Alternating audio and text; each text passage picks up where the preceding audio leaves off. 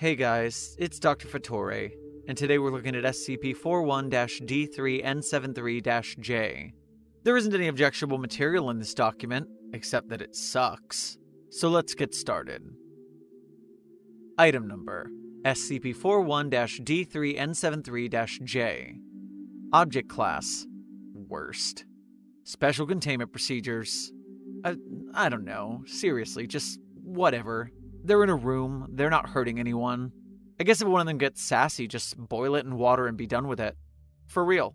I had them install a stove and a sink in the room just for that, because there's no oversight in this department. Also, you're not supposed to eat them, but if you want to live life on the edge, I'm not going to stop you. Description SCP 41 D3N73 J is a shelf of sapient boxes of pasta, all unfortunately capable of speech. There's linguini, capellini, mostaccioli, penne, probably spaghetti and angel hair too, I don't know. I got bored of listening to them and gave up checking each box. They all speak English in a frankly offensive and exaggerated Italian accent. It's pretty insulting, especially when you consider my parents were Italian immigrants. Yeah, thanks for assigning this one to me, knowing that my mom died four months ago. Really cool. SCP 41 D3N73 J instances are not capable of movement, and mostly spend their time arguing with each other in their Looney Tunes esque vernacular, which usually lacks any semblance of sense, continuity, or just general logic. I did some science, and the result is that SCP 41 D3N73 is the dumbest goddamn thing we've ever contained. See the interview below. Tried to make the language as accurate as possible so the insensitivity really shines through. Interviewer, me, Dr. Fattore. Interviewed, a single box of rigatoni. Hello, I'm Dr. Fattore. May I ask you a few questions? Oh my goodness, of course you may. Ah, Jesus. Yeah, okay. What is your earliest memory? Let me think about that one. I think it was when my mama made me a big old spicy meatball. Or maybe it was when my papa first brought me to church. I was a very young boy and uh, I had uh, just turned three years old and I had to eat my first cannoli. Okay, okay. So I'm just gonna rephrase the question a bit. Sounds a good. uh. Stop. Just stop. Stop it. I'ma not do anything. Why do you choose to be this way? What do you mean? Do you have free will? I I uh I don't uh I don't really know. Your accent is dropping. I don't I don't uh don't uh, know what are you talking about. Did you care at all when I boiled your neighbor? Do you miss rotini at all? My mama used to make a rotini sometimes. No, no. The box of rotini that was next to you.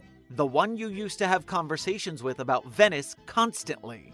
The one who wouldn't answer any of my questions and kept blathering about Mussolini, so I emptied his contents into a pot of boiling water, and now he doesn't seem to talk a so good anymore.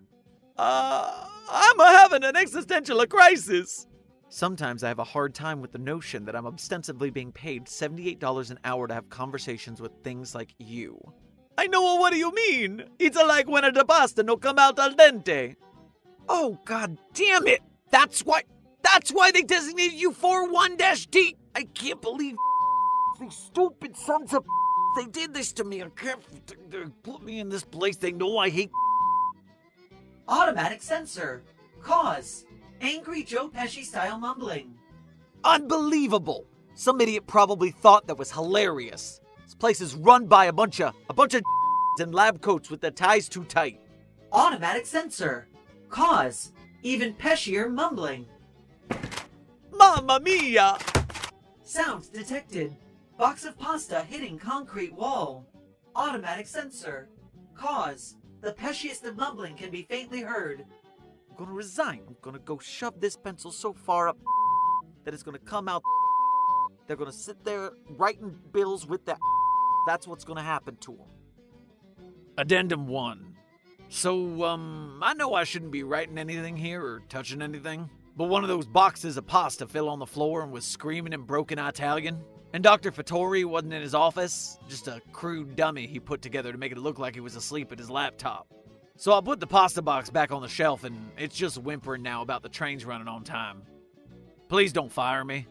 Signed, Artie from Southeast Custodial Professionals. Thank you for listening. Site 42 Studios and its staff are funded by viewers like you. Please become a patron or visit our merch store at the link in our bio to support our work. Secure, contain, protect.